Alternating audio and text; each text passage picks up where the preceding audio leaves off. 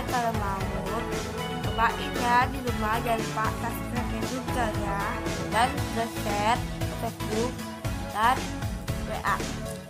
Dan ke teman-teman kalian ya. Mantap kali teman-teman.